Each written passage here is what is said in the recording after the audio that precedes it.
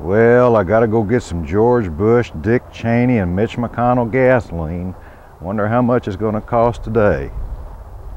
I guess we'll see when we get there.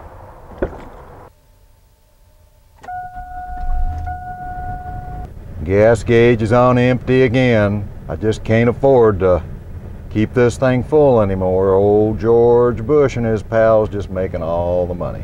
We'll drive on down to Glendale and get us some fuel.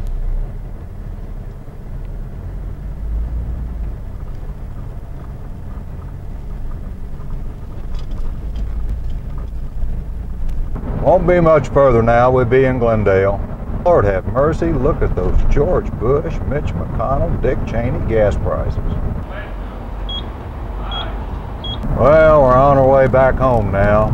Me and old George Bush gonna drive up the driveway here, make our way home.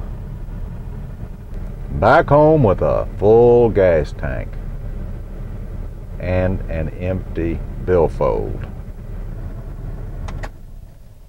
Hey, Mitch McConnell, would you consider giving George Bush a blowjob so we can get the price of this gasoline down? After all, you're already kissing his ass. You have a great day. Bye.